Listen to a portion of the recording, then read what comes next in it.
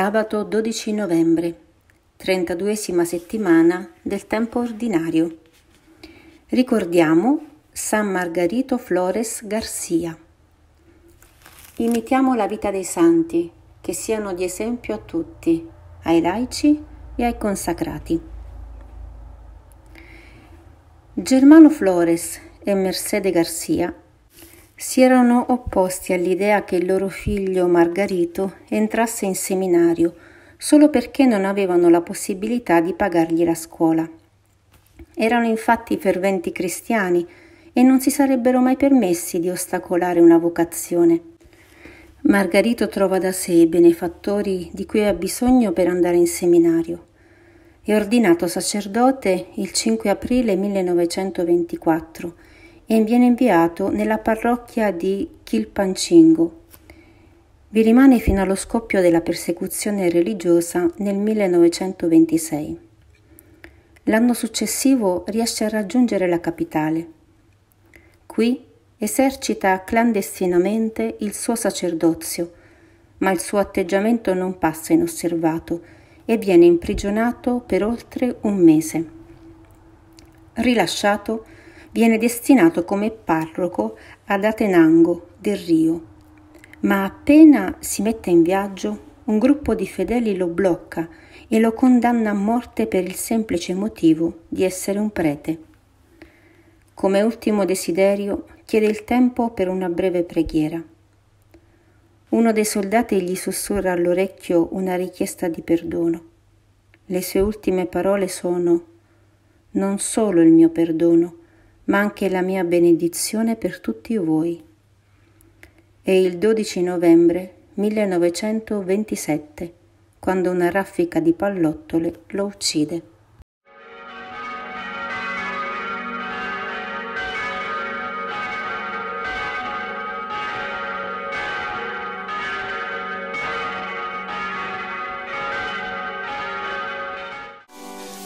Tota pulcra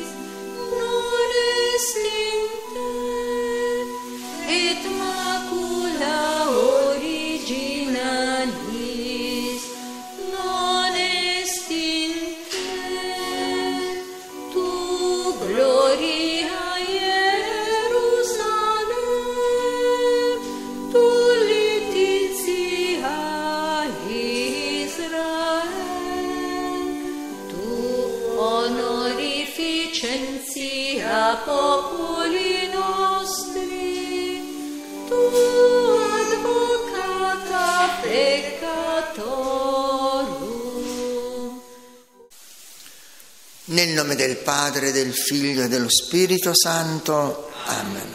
La pace sia con voi. Oggi la Chiesa celebra la memoria di San Giosafat, vescovo e martire. Ecco, più che mai vogliamo invocare forte la sua intercessione. Nato in Ucraina, divenne vescovo di Polok e dove morì martire e questa città si trova nell'attuale Bielorussia. Quindi siamo in questa zona oggi particolarmente calda. Quindi vogliamo invocare la sua intercessione proprio perché lui che ha cercato sempre di lavorare per l'unità dei cristiani trovi ancora oggi, ecco, nella preghiera sua verso il Signore Gesù, il vivente, questa forza per portare pace in mezzo al suo popolo. Chiediamo perdono dei nostri peccati. Confesso a Dio Onnipotente e a voi fratelli e sorelle che ho molto peccato in pensieri, parole, opere e omissioni. Per mia colpa, mia colpa, mia grandissima colpa. E supplico la Beata sempre Vergine Maria, gli angeli, i santi e voi fratelli e sorelle di pregare per me il Signore Dio nostro. Dio Onnipotente abbia misericordia di noi, perdoni i nostri peccati e ci conduca alla vita eterna. Kyrie eleison. Cristo eleison. Kyrie eleison. Preghiamo. Suscita nella tua Chiesa, o oh Signore, lo spirito che colmò San Giosafat e lo spinse a dare la vita per il suo gregge. E per sua intercessione fa che anche noi, fortificati dallo stesso spirito, non esitiamo a donare la vita per i fratelli. Per il nostro Signore Gesù Cristo, tuo Figlio, che è Dio, e vive e regna con te nell'unità dello Spirito Santo, per tutti i secoli dei secoli. Dalla terza lettera di San Giovanni Apostolo. Carissimo Gaio, tu ti comporti fedelmente in tutto ciò che fai in favore dei fratelli, benché stranieri. Essi hanno dato testimonianza della tua carità davanti alla Chiesa. Tu farai bene a provvedere loro il necessario per il viaggio in modo degno di Dio per il suo nome, infatti, essi sono partiti senza accettare nulla dai pagani. Noi perciò dobbiamo accogliere tali persone per diventare collaboratori della verità. Parola di Dio. Rendiamo grazie a Dio. Beato l'uomo che teme il Signore. Beato Beato l'uomo che teme il Signore e nei suoi precetti trova grande gioia.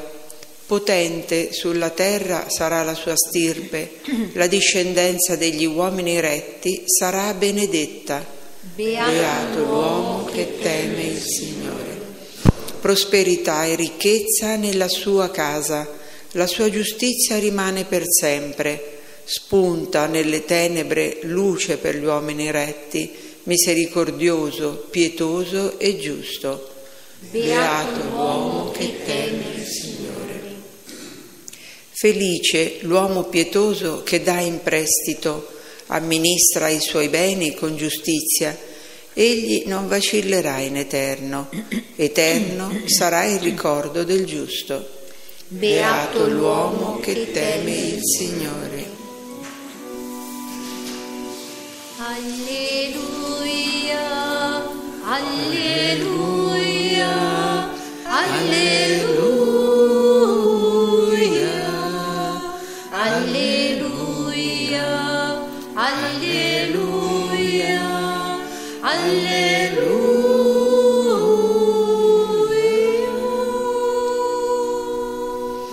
Dio ci ha chiamati mediante il Vangelo per entrare in possesso della gloria del Signore nostro Gesù Cristo.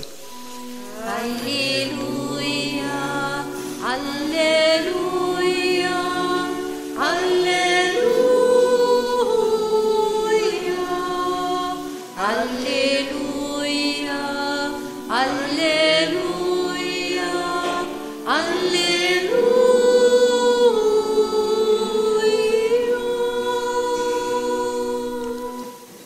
Il Signore sia con voi.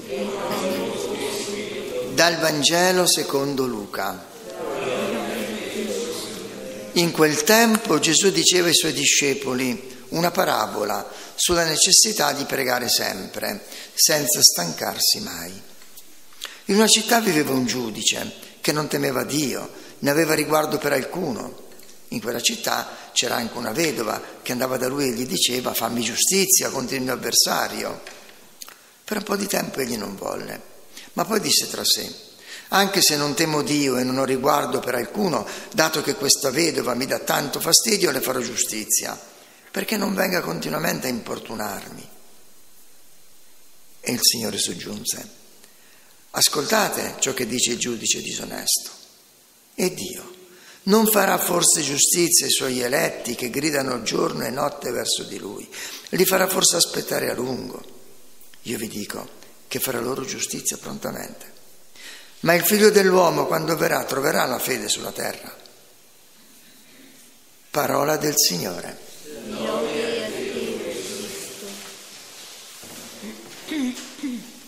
nei giorni feriali leggiamo il Vangelo di Luca in quest'ultimo scorcio dell'anno liturgico. Nei giorni festivi quest'anno è l'anno di Luca, per cui ci ritroviamo ad ascoltare alcune pagine del Vangelo sia di domenica sia nei giorni feriali. E questo testo che abbiamo letto oggi, ricordate, lo abbiamo letto appena qualche domenica fa. E allora non vogliamo ripetere da capo la, la spiegazione, anzi voglio sottolineare solo quello che per motivi di tempo in questa domenica non abbiamo detto. E quindi vorrei proprio soffermarmi sulle ultime parole del Vangelo. Gesù porta l'esempio di quel giudice disonesto, non tanto per dire che è l'esempio di Dio, quanto per dire che Dio farà totalmente diverso da lui. Risponderà, se lui che malvagio ha risposto alle attese, Dio risponderà, non perché non vuole essere scocciato, risponderà per amore ai suoi figli. Ed ecco che Luca, l'Evangelista, ci dice, Dio farà prontamente giustizia. E bisogna che ci fermiamo un attimo a capire che cosa significa questa parola. Dio che fa giustizia. Guardando le vicende della vita, noi vediamo che eh, il male esiste. Anzi, Gesù nella parabola della zizzania ci dice che il male coesisterà con il bene fino alla fine dei tempi. Quindi questa giustizia di Dio non è sradicare il male e manifestare tutto il bene fin da adesso. Quindi non è questa la giustizia di Dio. Però nello stesso tempo la parola di Dio ci dà una speranza.